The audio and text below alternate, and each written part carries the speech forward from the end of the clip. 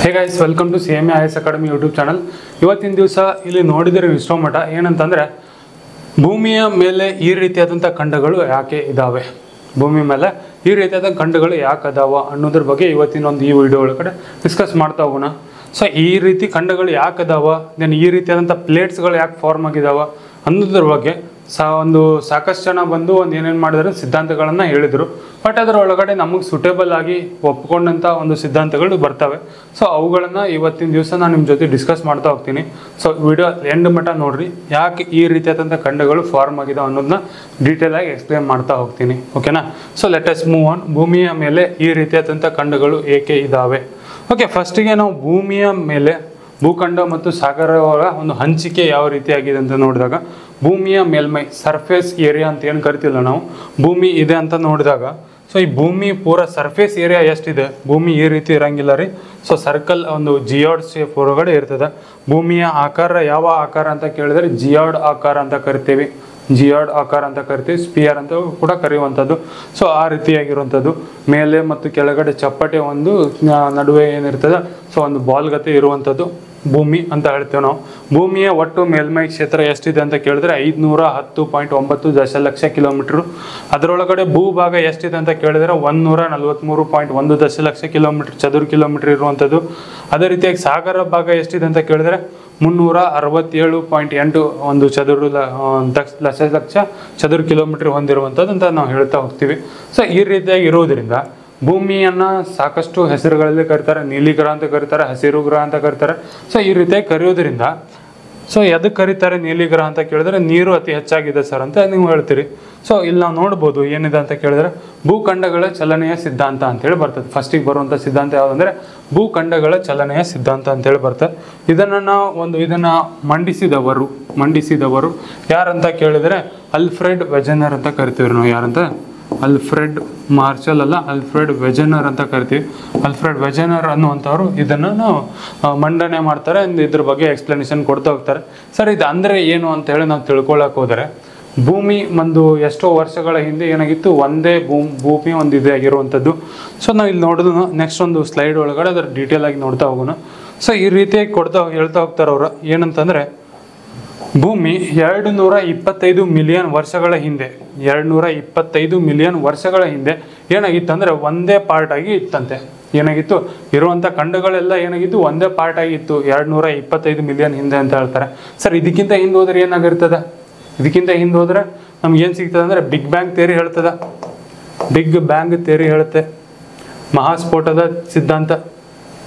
ಮಹಾಸ್ಫೋಟದ ಸಿದ್ಧಾಂತ ಏನು ಹೇಳ್ತಂದ್ರೆ ಸೂರ್ಯ ಒಂದು ಮಾಸ್ ಇರ್ತದ, ಅದೆಲ್ಲ ಸ್ಫೋಟಗೊಂಡು ಆಮೇಲೆ ಏನಾಗ್ತದೆ? ತಿರುಗಿ ತಿರುಗಿ ಭೂಮಿ ಫಾರ್ಮೇಷನ್ ಆಗ್ತದೆ ಅಂತ ಹೇಳ್ತೀವಿ. ಸೊ ಅದ್ರ ಬಗ್ಗೆನೂ ಸಪ್ರೇಟ್ ವಿಡಿಯೋ ಮಾಡೋದಂತ ಬಟ್ ಫಸ್ಟಿಗೆ ಇದನ್ನ ಫೋಕಸ್ ಮಾಡಿಲ್ಲ ಎರಡು ನೂರ ಇಪ್ಪತ್ತೈದು ಮಿಲಿಯನ್ ಇಯರ್ಸ್ ಹಿಂದೆ ಏನಾಗಿತ್ತಂದ್ರೆ, ಭೂಖಂಡ ಎಲ್ಲ ಒಂದೇ ಕೂಡಿ ಇತ್ತಂತೆ. ಎಲ್ಲ ಕೂಡಿ ಇತ್ತಂತೆ. ಇದಕ್ಕೆ ಏನಂತ ಕರಿತೀವಿ? ಪ್ಯಾನ್ಜಿಯಾ ಅಂತ ಕರಿತೀವಿ. ಇದಕ್ಕೆ ಏನಂತ ಕರಿತೀವಿ? ಪ್ಯಾನ್ಜಿಯಾ ಅಂತ ಹೇಳಿ ಕರಿತೀವಿ. ಅದು ನೂರ ಐವತ್ತು ಮಿಲಿಯನ್ ಇಯರ್ಸ್ ಹಿಂದೆ. ನೂರ ಐವತ್ತು ಮಿಲಿಯನ್ ಇಯರ್ಸ್ ಹಿಂದೆ ಏನಾಗುತ್ತೆ? ಒಡೆದು ಎರಡು ತುಕುಣಿ ಆಗ್ತದ. ಒಡೆದು ಎರಡು ತುಕುಣಿ ಆಗ್ತದೆ. ತುಕುಣಿ ಆದಾಗ ಒಂದು ಪಾರ್ಟ್ ಏಷ್ಯಾ ಅಂತ ಕರಿತೀವಿ. ಈಗಿರುವಂಥ ಏಷ್ಯಾ ಖಂಡ ಲಾರ್ ಏಷ್ಯಾ ಅಂತ ಕರಿತೀವಿ. ಇನ್ನೊಂದು ಪಾರ್ಟನ್ನು ಏನಂತ ಕರಿತೀವಿ? ಗೋಂಡ್ವಾನ ಅಂತ ಕರಿತೀವಿ. ಮೇಲೆ ಇರುವಂಥ ಲಾರ್ ಏಷ್ಯಾ ಅಂತ ಕರಿತೀವಿ. ಕೆಳಗಿರುವಂಥ ಪಾರ್ಟನ್ನ ಗೊಂಡ್ವಾನ ಅಂತ ಕರಿತೀವಿ. ಅವಾಗ ಇಲ್ಲಿ ನಡುವೆ ಒಂದು ಸಮುದ್ರ ಉಂಟಾಗುತ್ತೆ. ನಡುವೆ ಒಂದು ಸಮುದ್ರ ಉಂಟಾಗುತ್ತೆ. ಅದೇ ಯಾವ ಸಮುದ್ರ ಅಂತ ಕೇಳಿದ್ರೆ ತೆತಿಸ್ ಸಮುದ್ರ ಅಂತ ಕರಿತೀವಿ ಯಾವ ಸಮುದ್ರ? ತೆತಿಸ್ ಸಮುದ್ರ. ಈಗಿನ ಈಗಿನ ಯಾವುದು? ಮೆಡಿಟೇರಿಯೇನಿಯನ್? ಮೆಡಿಟರೇನಿಯನ್? ಮೆಡಿಟರೇನಿಯನ್ ಸಮುದ್ರ ಅಂತ ಹೇಳ್ತೀವಿ. ಈಗಿನ ಮೆಡಿಟರೇನಿಯನ್ ಸಮುದ್ರ, ಅವಾಗಿನ ತೆತಿಸ್ ಸಮುದ್ರ ಅಂತ ಕರಿತೀವಿ. ಸೊ ಇದು ಒಡೆದು ಹೋಗ್ತದೆ. ಅದಾದ ಕೂಡಲೇ ನೂರು ಮಿಲಿಯನ್ಸ್ ಮಿಲಿಯನ್ ಇಯರ್ಸ್ ಹಿಂದೆ, ನೂರು ಮಿಲಿಯನ್ ಇಯರ್ಸ್ ಹಿಂದೆ ಏನಾಗ್ತಂದ್ರೆ ಖಂಡಗಳು ಒಡೆದು ಒಡೆದು, ಒಡಿತಾ ಹೋಗ್ತವೆ. ನಾರ್ತ್ ಅಮೇರಿಕಾ, ಯುರೋಪ್ ಮತ್ತು ಏಷ್ಯಾ ಕೂಡಿರುತ್ತೆ. South America, Africa, India, Australia, Antarctica ಈ ರೀತಿಯಾಗಿ ಒಡ್ತಾ ಹೋಗ್ತವೆ. ಆ್ಯಂಡ್ ಈಗ ಆಟ್ ಪ್ರೆಸೆಂಟ್ ಹೆಂಗಿದೆ ಅಂದರೆ ಹಿಂಗಿದೆ. ನಾವು, ನೀವು ಎಲ್ಲ ನೋಡಿದ್ದೀವಿ. ಸೊ ನಾವು ನಿನ್ನ ನೋಡಿದ್ವಿ. ಇದೇನಂದ್ರೆ ಇವರೊಂದು ಸಿದ್ಧಾಂತ, ಹಿಂಗಿತ್ತು ಅನ್ನೋದು ಒಂದು ಸಿದ್ಧಾಂತ. ಸೊ ನೆಕ್ಸ್ಟ್ ಈಗ ನೋಡಿದ್ರೆ ಇದಕ್ಕೆ ಏನೇನು ಎವಿಡೆನ್ಸ್ ಕೊಡ್ತಾರೆ?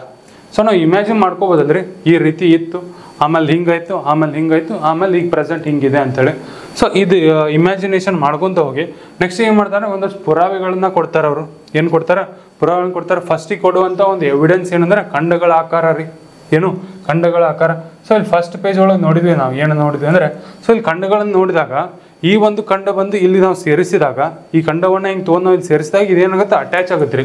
ಅದೇ ರೀತಿಯಾಗಿ ಇವನ್ನೆಲ್ಲಾನು ಹಿಂಗೆ ಒಂದು ಕಡೆ ಹಿಂಗೆ ಕೂಡಿಸಿದಾಗ ಸೊ ಒಂದಕ್ಕೊಂದು ನಾವು ಈ ಪಜಲ್ ಇದು ಬರುತ್ತೆ ನೋಡಿದ್ರೆ ನೀವು ಒಂದಷ್ಟು ಪಜಲ್ಗಳು ಬರ್ತಿದ್ವು, ಅವ್ನು ಏನು ಮಾಡ್ತಿದ್ವು? ಸಣ್ಣವರಿದ್ದಾಗ ಜೋಡಿಸ್ತಾ ಹೋಗ್ತಿದ್ವು. ಆ ರೀತಿಯಾಗಿ ಇವನ್ನೆಲ್ಲ ತೊಗೊಂಡು ಜೋಡಿಸಿದಾಗ, ಇವೆಲ್ಲ ಏನಾಗ್ತದೆ ಅಂದ್ರೆ ಒಂದು ಕಡೆ ಕೂಡುವಂಥ ಒಂದು ಆಕಾರದಲ್ಲಿ ನಮ್ಗೆ ಕಂಡು ಬರ್ತಾವ್ರಿ ಸೊ ಆ ಒಂದು ಕಾರಣದಿಂದ ಅದೊಂದು ಪುರಾವೆ ಅಂತ ಹೇಳ್ತಾರೆ ಅವರು.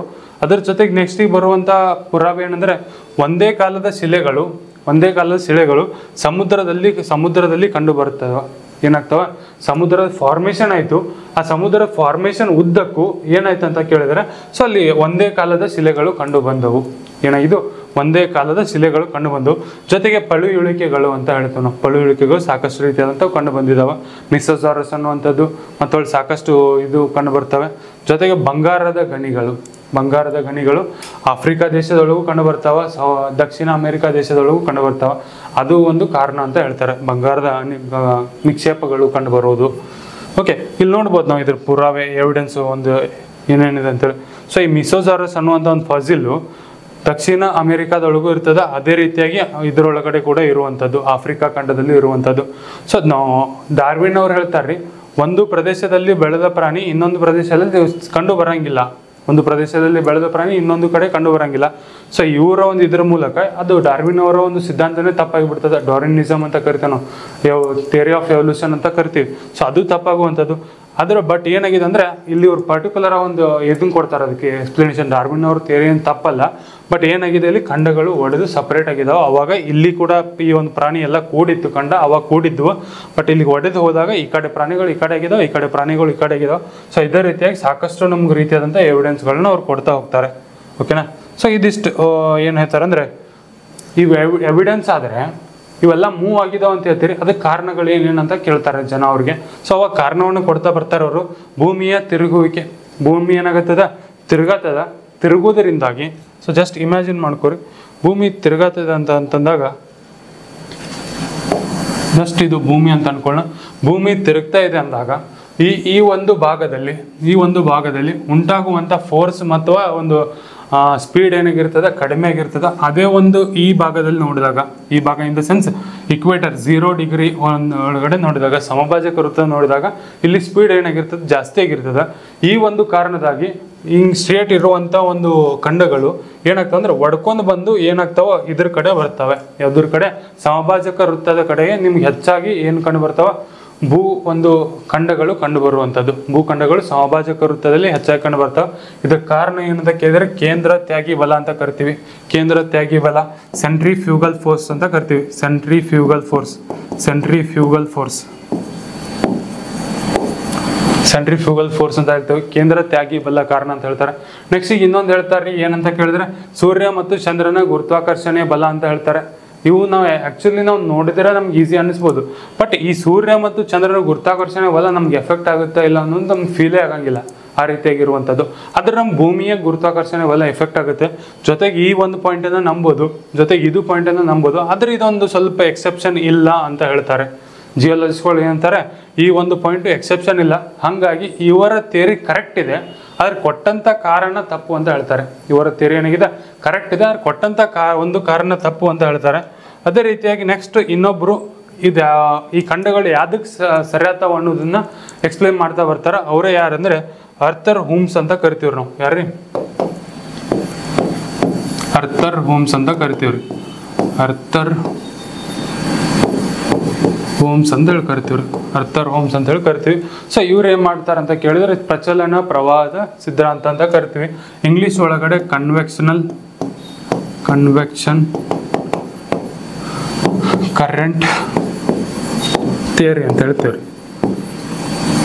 ಕನ್ವೆಕ್ಷನ್ ಕರೆಂಟ್ ಥಿಯರಿ ಅನ್ನೋದನ್ನ ಒಂದು ಥೇರಿ ಸಿದ್ಧಾಂತವನ್ನು ಇವರು ಹೊಂಡಿಸ್ತಾರೆ ಸೊ ಅದ್ರ ಒಳಗಡೆ ಏನೇನು ಹೇಳ್ತಾರೆ ಅನ್ನೋದನ್ನ ಇಲ್ಲಿ ಎಕ್ಸ್ಪ್ಲೇನ್ ಮಾಡೋದಂತ ಸೊ ಇದನ್ನ ಎಕ್ಸ್ಪ್ಲೇನ್ ಮಾಡೋಕ್ಕಿಂತ ಮುಂಚೆ ಜಸ್ಟ್ ನೀವು ಇದು ನೋಟ್ ಮಾಡ್ಕೊರಿ. ಅರ್ಥರ್ ಹೋಮ್ಸ್ ಅನ್ನುವಂಥವ್ರು ಇದನ್ನು ಬ, ಇದು ಮಾಡಿದವರು. ಜೊತೆಗೆ ಇದಕ್ಕೆ ಇಂಗ್ಲೀಷ್ ಒಳಗಡೆ ಇಂಗ್ಲೀಷ್ ಮೀಡಿಯಮ್ದವ್ರು ಕೇಳಕ್ಕಿದ್ರೆ ಕನ್ವೆಕ್ಷನಲ್ ಕರೆಂಟ್ ಥೇರಿ ಅಂತೇಳಿ ಕರೀತಾರೆ. ಸೊ ಇದಿಷ್ಟು ನಮ್ಗೆ ಗೊತ್ತಿರಬೇಕು. ಜೊತೆಗೆ ಸ್ವಲ್ಪ ಇದನ್ನು ಅಬ್ಸರ್ವ್ ಮಾಡ್ಬೇಕಂದ್ರೆ ನಮ್ಗೆ ಸ್ವಲ್ಪ ಇದರ ಹಿನ್ನೆಲೆ ಗೊತ್ತಿರಬೇಕು. ಸರ್ ಹಿನ್ನೆಲೆ ಏನು ಅಂತ ಕೇಳಿದಾಗ ಭೂಮಿಯ ಅಂತರಾಳವನ್ನು ನಾವು ನೋಡಿದಾಗ, ಯಾವುದನ್ನ ನೋಡಿದಾಗ? ಭೂಮಿಯ ಅಂತರಾಳವನ್ನು ನೋಡಿದಾಗ ನಮಗೆ ಟೋಟಲ್ ಆಗಿ ಮೂರು ಪದರಗಳು ಕಂಡು ಬರ್ತವೆ ಎಷ್ಟು ಪದರಗಳು ಮೂರು ಪದರಗಳು ಕಂಡು ಬರ್ತವೆ ಒಂದನೇದ್ದು ಹೊರ ಪದರ. ಯಾವ ಪದರ? ಹೊರ ಪದರ. ಎರಡನೇದು ಮಧ್ಯ ಪದರ.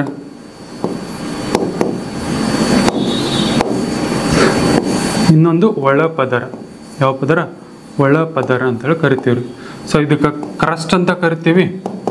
ಇದಕ್ಕೆ ಮ್ಯಾಂಟಲ್ ಅಂತ ಕರಿತೀವಿ. ಇದಕ್ಕೆ ಕೋರ್ ಅಂತೇಳಿ ಕರಿತೀವಿ. ಕ್ಲಿಯರ್ ಇದಕ್ಕೆ ಕ್ರಸ್ಟ್ ಅಂತ ಕರಿತೀವಿ ಮ್ಯಾಂಟಲ್ ಅಂತ ಕರಿತೀವಿ, ಕೋರ್ ಅಂತ ಕರಿತೀವಿ. ಸೊ ಒಂದು ಅಬ್ಸರ್ವ್ ಮಾಡ್ರಿ. ಕ್ರಸ್ಟ್ ಒಳಗಡೆ ಏನಿರುತ್ತೆ ಅಂದ್ರೆ ಭೂಖಂಡ ಇರ್ತದ ಅಥವಾ ಅದ್ರ ಜೊತೆ ಜೊತೆಗೆ ಸಾಗರ ಖಂಡ ಕೂಡ ಕರು ಕಂಡು ಬರುವಂಥದ್ದು ಕ್ರಸ್ಟ್ ಒಳಗಡೆ. ಅದೇ ರೀತಿಯಾಗಿ ಮ್ಯಾಂಟಲ್ ಒಳಗೆ ನೋಡಿದಾಗ ಮ್ಯಾಂಟಲ್ ಒಳಗಡೆ ಏನಿರ್ತದ ಅಂತ ಕೇಳಿದ್ರೆ ಲಾವಾ ರಸ ಇರ್ತದ. ಏನಿರ್ತದ? ಲಾವಾ ರಸ ಇರ್ತದ. ಒಂದು ಥಿಂಗ್ ಅಂಡರ್ಸ್ಟ್ಯಾಂಡ್ ಮಾಡ್ಕೊರಿ. ಅದ್ರ ಜೊತೆಗೆ ಒಳ ಪದರ ಒಳಗಡೆ ಏನಿರುತ್ತೆ ಅಂದ್ರೆ ನಿಫೆ ಅನ್ನುವಂಥದ್ದು ಇರ್ತದ. ನಿಫೆ ಅಂತಂದ್ರೆ ಎನ್ ಐ ಅಂದ್ರೆ ನಿಕಲ್. ಎನ್ ಐ ಅಂದ್ರೆ ನಿಕಲ್. ಎಫ್ ಇ ಅಂದ್ರೆ ಐಯರ್ನು ಕಬ್ಬಿನ ಇರುವಂಥದ್ದು. ಆದರೆ ಇದು ಯಾವ ಒಂದು ಫಾರ್ಮ್ ಒಳಗೆ ಇರುತ್ತೆ ಸಾಲಿಡ್ ಫಾರ್ಮ್ ಒಳಗಿರುತ್ತೆ ಇಲ್ಲಿ ಏನಿರುತ್ತೆ ಲಾಭ ಇರ್ತದ. ಲಾಭ ಇರ್ತದ. ಈ ಲಾಭ ಏನಾಗಿರುತ್ತೆ ಅಂದ್ರೆ ಲಿಕ್ವಿಡ್ ಫಾರ್ಮ್ ಒಳಗೆ ಇರುತ್ತೆ. ಏನಾಗಿರುತ್ತೆ? ಲಿಕ್ವಿಡ್ ಫಾರ್ಮ್ ಒಳಗೆ ಇರ್ತಾರೆ ಇದಿಷ್ಟು ನಮ್ಗೆ ಇನ್ನಲ್ಲೇ ಗೊತ್ತಿರಬೇಕು. ಇದನ್ನ ಎಕ್ಸ್ಪ್ಲೈನ್ ಮಾಡ್ಬೇಕಂದಾಗ. ಸೊ ಈ ಕಡೆ ಬರ್ರಿ ಇವಾಗ. ಈ ಒಂದು ಸಿದ್ಧಾಂತವನ್ನ ನೋಡೋಣ ಸಿದ್ಧಾಂತವನ್ನು ನೋಡಿದಾಗ ಈ ಇನ್ನರ್ ಕೋರ್ ಒಳಗಡೆ ಏನಾಗಿರುತ್ತೆ ಅಂದ್ರೆ ಹೀಟ್ ಅನ್ನುವಂಥದ್ದು ಇರ್ತದ. ಹೀಟ್ ಅಂತಂದ್ರೆ ಉಷ್ಣ ಅನ್ನೋದು ಇರುತ್ತೆ. ಏನಿರುತ್ತೆ? ಉಷ್ಣ ರಿಲೀಸ್ ಆಗ್ತಾ ಇರ್ತದ. ಅದು ಕಾರಣಗಳು ಏನಂದಾಗ ಹಲವಾರು ರೀತಿಯಾದಂಥ ಕಾರಣಗಳು ಬರ್ತವೆ. ಭೂಮಿಯ ಅಂತರದಲ್ಲಿ ಉಷ್ಣ ಏಕಿದೆ ಅಂದಾಗ ಒಂದು ರೇಡಿಯೋ ಆಕ್ಟಿವಿಟಿ ಅಂತ ಹೇಳ್ತೀವಿ. ವಿಕಿರಣಶೀಲತೆ ವಿಕಿರಣಶೀಲ ಧಾತುಗಳಿಂದ ಉಂಟಾಗ್ತದೆ ಅಂತ ಹೇಳ್ತೀವಿ. ಇನ್ನೊಂದಷ್ಟು ಕಡೆ ಹೇಳ್ತಾರೆ, ಭೂಮಿ ಹುಟ್ಟಿದಾಗಿಂದ ಉಷ್ಣ ಇದೆ, ಅದರ ಸಲ ಈಗಾದರೂ ಕೂಡ ಅದರೊಳಗೆ ಉಷ್ಣ ಇದೆ ಅಂತೇಳಿ ಒಂದು ಸಾಕಷ್ಟು ಜನ ಒಂದು ಜಿಯೋಲಾಜಿಸ್ಟ್ಗಳು ಹೇಳೋದನ್ನು ನಾವು ಅಬ್ಸರ್ವ್ ಮಾಡ್ತಾ ಇರ್ತೀವಿ. ಈ ಇನ್ನರ್ ಕೋರ್ ಒಳಗಡೆ ಉಷ್ಣ ಇರ್ತದೆ. ಆ ಉಷ್ಣ ಏನಾಗ್ತದೆ ಅಂದ್ರೆ ರಿಲೀಸ್ ಹಾಕೊಂತ ಬಂದು ಬಂದು, ಈ ಮ್ಯಾಂಟಲ್ ಒಳಗೆ ಇರುವಂತಹ ಲಾವಾ ರಸ, ಯಾವ ರಸ? ಲಾವಾ ರಸದ ಮೇಲೆ ಬಂದು ಈ ಎಫೆಕ್ಟ್ ಆಗುತ್ತೆ. ಸೊ ಇಲ್ಲಿ ಬಂದು ಉಷ್ಣ ಉಂಟಾದಾಗ ಇಲ್ಲಿರುವಂಥ ಲಾವಾ ರಸ ಏನಾಗುತ್ತೆ ಅಂದ್ರೆ ಕರಗಿ ಮೇಲಕ್ಕೆ ಹೋಗುತ್ತದೆ. ಏನಾಗುತ್ತೆ? ಕರಗಿ ಮೇಲಕ್ಕೆ ಹೋಗ್ತದೆ. ಅವಾಗ ಇಲ್ಲಿರುವಂಥ ಜಾಗ ಖಾಲಿ ಆಗೋದ್ರಿಂದ ಈ ಕಡೆ ಇರುವಂಥ ಸಬ್ಸ್ಟೆನ್ಸ್ ಇಲ್ಲಿ ಬರುತ್ತೆ. ಈ ಕಡೆ ಇರುವಂಥ ಲಾವಾ ರಸ ಇಲ್ಲಿ ಬರುತ್ತೆ. ಸೊ ಅವಾಗ ಇದೇನಾಗುತ್ತೆ ಅಂದ್ರೆ ಸೊ ಹಿಂಗೆ ಸರ್ಕ್ಯುಲೇಟ್ ಆಗ್ತಾ ಹೋಗ್ತದೆ. ಏನಾಗ್ತಾ ಹೋಗ್ತದ? ಸರ್ಕ್ಯುಲೇಟ್ ಆಗಿ ಒಂದು ಸೈಕಲ್ ರೀತಿಯಾಗಿ ಹಿಂಗೆ ತಿರುಗ್ತಾ ಹೋಗ್ತದೆ. ಸೊ ಇದೇ ರೀತಿಯಾಗಿ ಹಿಂಗೂ ಈ ಕಡೆನೂ ತಿರುಗುತ್ತೆ. ಈ ಕಡೆನೂ ತಿರುಗುವಂಥದ್ದು ನಾವು ಅಬ್ಸರ್ವ್ ಮಾಡ್ತೀವಿ. ಈ ಕಡೆನೂ ತಿರುಗ್ತದೆ, ಆ ಕಡೆನೂ ತಿರುಗ್ತದೆ. ಸೊ ಈಗ ತಿರುಗೋದ್ರಿಂದ ಏನಾಗ್ತದೆ ಅಂತ ಕೇಳಿದ್ರೆ ಸೊ ಈಗ ನಾವು ನೀರು ಕಾಸೋದ್ರೊಳಗೆ ನೋಡಿರ್ಬೋದು ನೀವು. ಒಂದು ಪಾತ್ರೆ ಏನಾದರೂ ಇಟ್ಟು ನೀರು ಕಾಸಿದಾಗ ಸೊ ಇಲ್ಲಿ ನಾವು ಏನಾರ ಒಂದು ಇದನ್ನು ಇಟ್ಟಿದ್ದು ಅಂತ ತಿಳ್ಕೊರಿ. ಸೊ ಅವಾಗ ಇಲ್ಲಿ ಏನಾಗ್ತದೆ? ಇಲ್ಲಿರುವಂಥ ನೀರು ಬಬಲ್ ಫಾರ್ಮೇಷನ್ ಆಗಿ ಅಥವಾ ಕೆಳಗಡೆ ಕಾದಿರುವಂಥ ನೀರು ಮೇಲೆ ಹೋಗ್ತದೆ. ಮೇಲ್ಗಡೆ ತಣ್ಣಗಿರುವಂಥ ನೀರು ಕೆಳಗೆ ಬರ್ತದೆ. ಅಬ್ಸರ್ವ್ ಮಾಡಿರ್ಬೋದು ನೀವು ಮನೆಯೊಳಗೆ ಅಬ್ಸರ್ವ್ ಮಾಡಿಲ್ಲ ಅಂದ್ರೆ ಮಾಡ್ರಿ. ಅವಾಗ ಗೊತ್ತಾಗುತ್ತೆ. ಸೊ ಈ ರೀತಿಯಾಗಿ ಸರ್ಕ್ಯುಲೇಷನ್ ಆಗೋದ್ರಿಂದ ಇಲ್ಲಿ ನಾವು ಏನೋ ಒಂದು ವಸ್ತು ಇಟ್ಟಿವಿ ಅಂತ ಹೇಳಿರಿ. ಇಲ್ಲಿರುವಂಥ ಇಲ್ಲಿ ಇದು ಹೋಗಿ ಹಿಂಗೆ ಸರ್ಕ್ಯುಲೇಟ್ ಆಗೋದ್ರಿಂದ ಎರಡು ಏನಾಗುತ್ತೆ? ಇಲ್ಲಿರುವಂಥ ಮ್ಯಾಲಿರುವಂಥ ಒಂದು ಪಾರ್ಟು ಅಥವಾ ಒಂದು ಪ್ಲೇಟ್ ಅಂತ ಏನಂತ ಕರಿತಿಲ್ಲ ನಾವು, ಅದು ಒಡೆದು ಹೋಗುತ್ತೆ. ಅದೇನಾಗುತ್ತೆ? ಒಡೆದು ಹೋಗುತ್ತೆ. ಸೊ ಒಡೆದು ಹೋದಾಗ ಇಲ್ಲಿ ಇರುವಂಥ ಲಾವಾರಸ ಹೊರಗಡೆ ಬರುತ್ತೆ. ಆ ಹೊರಗಡೆ ಬಂದಾಗ ಏನಾಗುತ್ತೆ ಅಂದರೆ ವಲ್ಕ್ಯಾನೋಸ್ ಉಂಟಾಗುತ್ತವ, ಜ್ವಾಲಾಮುಖಿ ಉಂಟಾಗ್ತಾವ ಇಲ್ಲ ಅಂತಂದ್ರೆ ಹೊಸ ಅಲ್ಲಿ ನೆಲ ಉಂಟಾಗುತ್ತೆ. ಹೊಸ ನೆಲ ಅಲ್ಲಿ ಉಂಟಾಗುವಂಥದ್ದು ನಾವು ನೋಡ್ತಾ ಹೋಗ್ತೀವಿ. ಇದಕ್ಕೆ ಕನ್ಸ್ಟ್ರಕ್ಟಿವ್ ಡಿಸ್ಟ್ರಕ್ಷನ್ ಅಂತ ಕರಿತೀವಿ. ಕನ್ಸ್ಟ್ರಕ್ಟಿವ್ ಡಿಸ್ಟ್ರಕ್ ಕನ್ಸ್ಟ್ರಕ್ಟಿವ್ ಮತ್ತು ಡಿಸ್ಟ್ರಕ್ಟಿವ್ ಅಂತ ಬರುತ್ತೆ. ಇಲ್ಲಿ ಏನಾಗುತ್ತೆ ಅಂದರೆ ಎರಡೂ ಕಡೆ ಕೆಳಗಡೆ ಸುತ್ತಿರುಗ್ತಾ ಇದ್ದಾಗ, ಈ ಕಡೆನೂ ಹಿಂಗೆ ಕೆಳಗೆ ಬರತ್ತದ, ಈ ಕಡೆನೂ ಹಿಂಗೆ ಕೆಳಗೆ ಬರತ್ತದ. ಅವಾಗ ಇಲ್ಲಿರುವಂಥ ಭೂ ಪ್ರದೇಶ ಒಳಗಡೆ ಸಿಂಕ್ ಆಗ್ತಾ ಇದೆ. ಇದಕ್ಕೆ ಡಿಸ್ಟ್ರಕ್ಟಿವ್ ಅಂತ ಕರಿತೀವಿ, ಇದಕ್ಕೆ ಕನ್ಸ್ಟ್ರಕ್ಟಿವ್ ಅಂತ ಕರಿತೀವಿ. ಕನ್ಸ್ಟ್ರಕ್ಟಿವ್ ಅಂದರೆ ಇಲ್ಲಿ ಭೂಮಿ ಹುಟ್ಟುಕೊಳ್ಳುತ್ತೆ ಇಲ್ಲಿ ಭೂಮಿ ಒಳಗಡೆ ಹೋಗಿ ಅದು ಸತ್ತು ಹೋಗುವಂಥದ್ದು ನಾವು ನೋಡ್ತಾ ಹೋಗ್ತೀವಿ. ಸೊ ಇದು ಏನಂದ್ರೆ ಪ್ರಚಲನ ಪ್ರವಾಹಗಳ ಸಿದ್ಧಾಂತ ಅಂತ ಹೇಳ್ತೀವಿ. ಸೊ ಇದು ಒಂದು ಥಿಂಗ್ ನೆನ್ಪಿಟ್ಕೋರಿ. ಭೂಮಿಗೆ ಅಲ್ಲಿ ಯಾರಂತ ಕೇಳಿದ್ರೆ ಆಗಲೇ ಒಂದು ಇದ್ರೊಳಗಡೆ ನಾವು ಅಲ್ಫ್ರೆಡ್ ವೆಜನರ್ ನೋಡಿದ್ವಿ. ಸೊ ಅವ್ರು ಏನು ಹೇಳಿದ್ರು ಅಂತ ಕೇಳಿದ್ರೆ ಅಲ್ಲೊಂದು ಪಾಯಿಂಟ್ ಹೇಳಿದ್ರು ಅವರು, ಎಲ್ಲ ಖಂಡಗಳು ಸರ್ದಿದಾವ್ ಅಂತೇಳಿ. ಆ, ಸರ್ದಿದಾವ್ ಅಂದಾಗ ಅದಕ್ಕೆ ಪರ್ಟಿಕ್ಯುಲರ್ ಆಗಿ ಒಂದು ರೀಸನ್ ಕೊಟ್ಟಿರಲಿಲ್ಲ. ಬಟ್ ಈ ಒಂದು ಸಿದ್ಧಾಂತ ಏನು ಹೇಳ್ತಾರೆ ಮ್ಯಾಂಟಲ್ ಒಳಗೆ ಇರುವಂಥ ಲಾವಾರಸದ ಚಲನೆಯಿಂದಾಗಿ ಮೇಲಿರುವಂತಹ ಭೂ ಫಲಕಗಳು ಚಲನೆ ಉಂಟಾಗ್ತವೆ. ಏನಾಗ್ತವೆ? ಭೂಫಲಕಗಳ ಚಲನೆ ಎದಕ್ಕೆ ಉಂಟಾಗ್ತಂದ್ರೆ ಮ್ಯಾಂಟಲ್ ಅಂತಂದ್ರೆ ಸೊ ಈ ಒಂದು ಮಧ್ಯ ಪದರದಲ್ಲಿರುವ ಮಧ್ಯ ಪದರದಲ್ಲಿರುವ ಲಾವಾರಸದ ಚಲನೆಯಿಂದಾಗಿ ಭೂಫಲಕಗಳ ಚಲನೆ ಉಂಟಾಗ್ತವ. ಆ ಒಂದು ಕಾರಣದಿಂದಾಗಿ ಆ ಒಂದು ಎರಡು ನೂರ ಇಪ್ಪತ್ತೈದು ಮಿಲಿಯನ್ ಇಯರ್ಸ್ ಇಂದ ಏನಿತ್ತಲ್ಲ, ಸೊ ಅವಾಗಿಂದ ಈಗಿನ ಒಂದು ಇದು ಫಾರ್ಮ್ ಆಗಿದೆ ಅಂತೇಳಿ ಹೇಳುವಂಥದ್ದು ಈ ಒಂದು ಸಿದ್ಧಾಂತ ಅಂತ ಹೇಳ್ತೀವಿ. ಇದ್ರ ಜೊತೆಗೆ ಇನ್ನಷ್ಟು, ಇನ್ನೂ ಸಾಕಷ್ಟು ಸಿದ್ಧಾಂತಗಳು ಬರ್ತಾವ. ಎಕ್ಸಾಂಪಲ್ ಹೇಳ್ಬೇಕಂತಂದಾಗ, ಸೊ ಪ್ಯಾಲಿಯೋ ಮ್ಯಾಗ್ನೆಟಿಸಮ್ ಅಂತ ಬರುತ್ತೆ. ಪ್ಯಾಲಿಯೋ ಮ್ಯಾಗ್ನೆಟಿಸಮ್ ಅಂತ ಹೇಳ್ತೀವಿ. ಪ್ಯಾಲಿಯೋ ಮ್ಯಾಗ್ನೆಟಿಸಮ್ ಅಂತ ಹೇಳ್ತೀವಿ. ಜೊತೆಗೆ ಇನ್ನೊಂದು ಬರುತ್ತೆ ಪ್ಯಾಲೋಲ್ ಮ್ಯಾಗ್ನೆಟಿಸಮ್ ಅಷ್ಟೇ ಅಲ್ರಿ. ಸಿ ಫ್ಲೋರ್ ಸ್ಪ್ರೆಡ್ಡಿಂಗ್ ಅಂತೇಳಿ. Sea floor